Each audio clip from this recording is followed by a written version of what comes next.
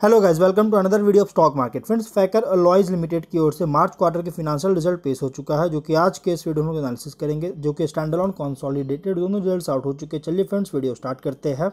तो गाइज़ हम लोग आ चुके हैं कॉन्सॉलिडेटेड फिनेंशियल रिजल्ट्स में। लैक्स में नंबर्स दिए गए। इनकम में 109 करोड़ का, पिछले क्वार्टर में 83 करोड़ था और मार्च 22 क्वार्टर में 84 करोड़ का इनकम था। Quarter on quarter year on year दोनों की इनकम में तेज़ी देखने को मिल रहा है।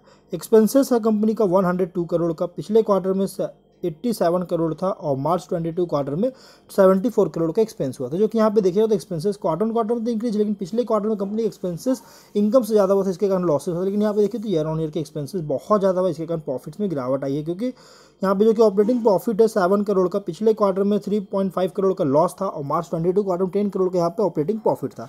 क्वार्टर ऑन क्वार्टर में इंक्रीज है ईयर ऑन ईयर में डाउन देखने को मिल रहा है। नेट प्रॉफिट लॉस जो है इस बार फोर्टीन करोड़ का है, क्योंकि कंपनी को टैक्स इस बार पे करना पड़ा, जो कि यहाँ पे देखिएगा तो गुडविल का जो यहाँ पे मतलब कि इम्पेयरमेंट होता है, उसमें यहाँ पे कंपनी को बहुत ज़्यादा खर्च हुआ है। सिक्सटीन करोड़ के आसपास का जिसके कारण कंपनी को लॉसेस हुआ है थर्टीन करोड़ का। और अगर हम नेट लॉस बात करें नेट प्रॉफिट लॉस का तो यहाँ फोर्टीन करोड़ का लॉसेस है। पिछले क्वार्टर थ्री करोड़ का लॉस था, और March twenty two quarter four point nine crore का प्रॉफिट था। Quarter on quarter year on year बहुत ज़्यादा गिरावट देखने को मिल रहा है। E P S zero point six five rupees का निगेटिव है quarter on quarter year on year बहुत ज़्यादा डाउन देखने को मिल रहा है। तो गाइज़ यहाँ पे कॉन्सॉलिडेटेड रिज़ल्ट जो निकल के आया बहुत ही वीक रिज़ल्ट यहाँ पे कंपनी का देखने को मिला। अगर हम लोग इसके स्टैंड रिज़ल्ट को कवर करें नंबर लैक्स में है इनकम 107 करोड़ का, पिछले क्वार्टर में 83 करोड़ था और मार्च 22 क्वार्टर में 85 करोड़ का इनकम था। Income quarter on quarter year on year दोनों में तेज़ी देखने को मिल रहा है। एक्सपेंसेस 101 करोड़ का, पिछले क्वार्टर में 87 करोड़ मार्च 22 क्वार्टर में 74 करोड़ का एक्सपेंस हुआ था, जो कि quarter on quarter year on year में बहुत ज़्यादा एक्सपेंसेस देखने को मिल रहा है। जिसके बाद ऑपरेटिंग प्रॉफिट है सिक्स करोड़ का, पिछले क्वार्टर में थ्री करोड़ का लॉस था मार्च ट्वेंटी क्वार्टर में टेन करोड़ का प्रॉफिट था। ऑपरेटिंग प्रॉफिट था, जो कि क्वार्टर क्वार्टर में तो लॉसेस रिकवर हुआ है, लेकिन ईयर ऑन ईयर प्रॉफिट्स में गिरावट आई है।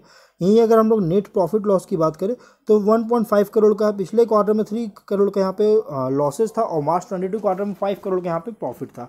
क्वार्टर ऑन क्वार्टर बहुत ही शानदार ग्रोथ है, लेकिन ईयर ऑन ईयर में डाउन देखने को मिल रहा है। ईपीएस एट रुपीज़ का क्वार्टर ऑन क्वार्टर ग्रोथ है ईयर ऑन ईयर में डाउन देखने को मिल रहा है। तो ओवरऑल अगर देखा जाए तो यहाँ पे कंपनी का जो क्वार्टर ऑन क्वार्टर का जो रिज़ल्ट है, बहुत ही अच्छी यहाँ पे देखने को मिल रहा है। लेकिन यहाँ पे ईयर ऑन ईयर में डाउन देखने को मिल रहा है कॉन्सॉलिडेटेड में क्वार्टर ऑन क्वार्टर के प्रॉफिट में यहाँ पे लॉस गिरावट देखने को मिला था लॉसेज देखने को मिला था।